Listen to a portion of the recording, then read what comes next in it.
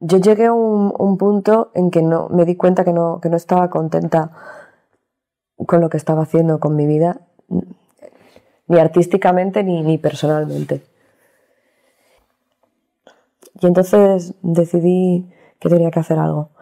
Para entonces ya había hecho alguna performance. Lo que pasa es que la había hecho de una forma muy ocasional. Yo no tenía tiempo, no tenía tiempo ni de pintar, ni de mm, escribir, ni de hacer fotos, ni de nada. No tenía tiempo de nada. Yo estaba todo el día ahí con, con la niña y con mi trabajo y no daba tiempo para nada.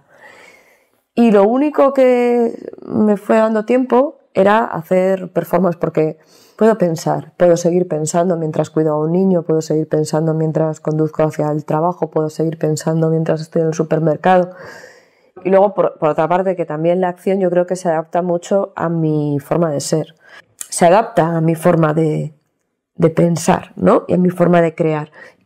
Me cuesta mucho cuando a mí me dicen, cuéntame tu línea de trabajo, porque mmm, me siento mintiendo. Yo trabajo mucho con intuiciones y con inconsciente. No me importa hacer una acción mala, porque también aprendo mucho. No me importa tanto lo que piensen los demás, pero lo que piensen los demás me refiero a los otros artistas o a los posibles críticos o lo que sea. Sí me importa la experiencia que tiene la gente que está en esa acción, bien sea público o amigos o lo que sea. Siempre estoy con cosas en la cabeza y encuentro un objeto, y esto le pasa a muchos otros performers. ¿eh? Yo sé que Yolanda Pérez Herreras contaba lo mismo, ¿no? que encuentra objetos que le resultan sugerentes y los guarda, porque a lo mejor algún día hago una performance con esto. A lo mejor no lo utilizo nunca. Pero de la misma manera, la, la experiencia de haber hecho una performance es como el principio de otra, ¿no?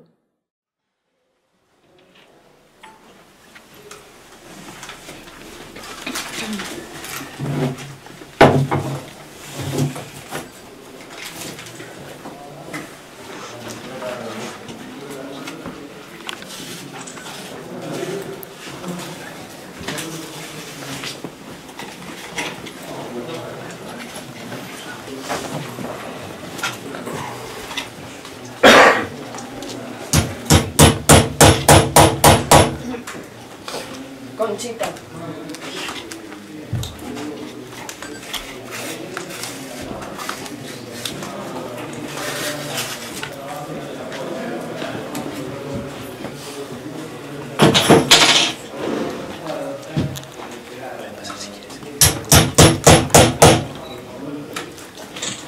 Mercedes.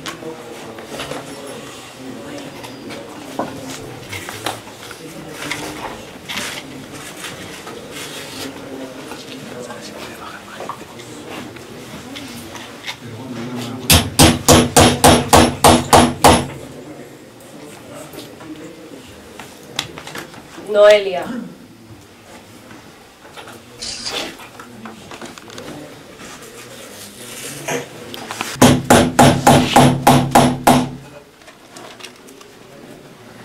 Celia.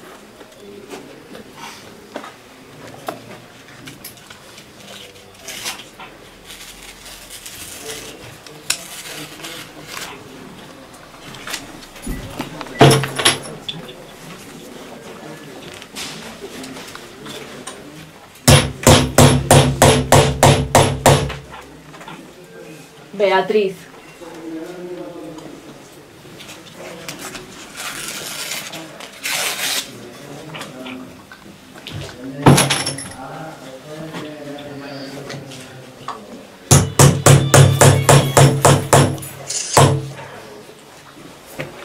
Ana Belén.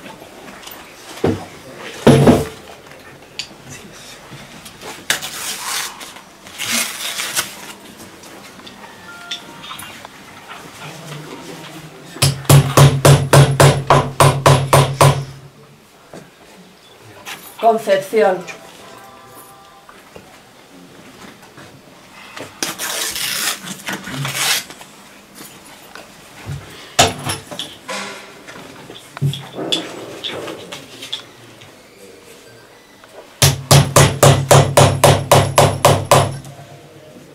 Rocío.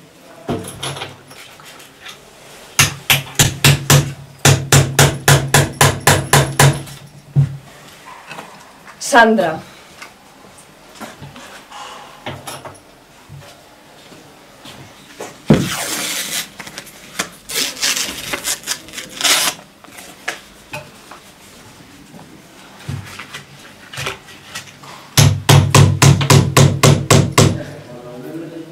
Cadilla.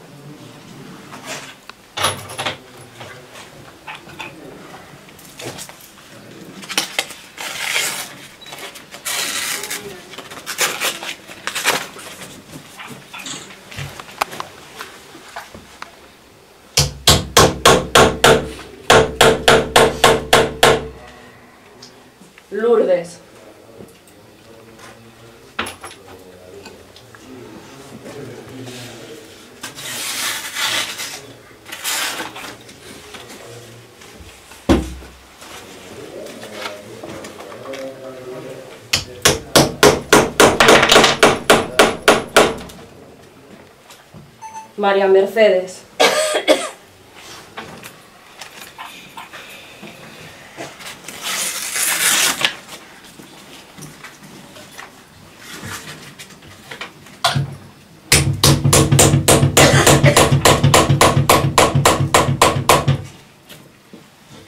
Vanessa.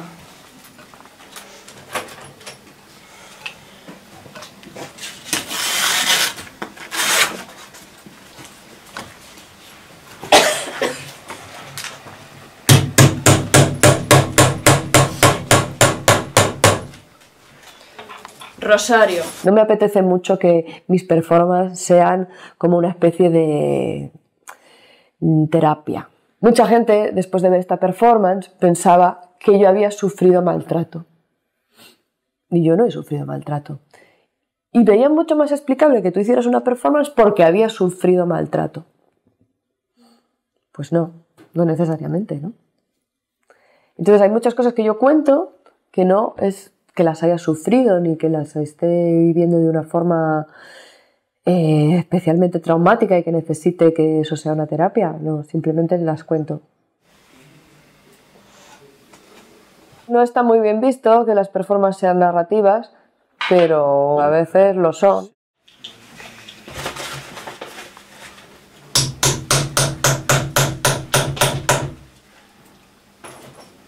Idoya.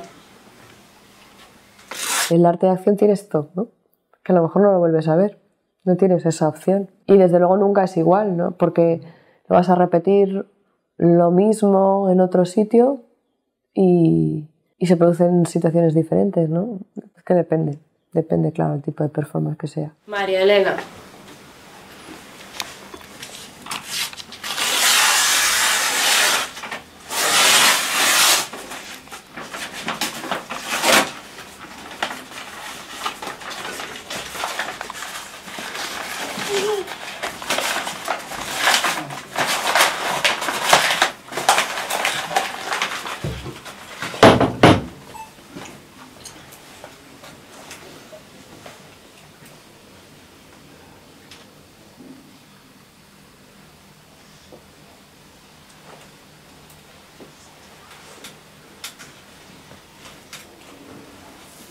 Gracias.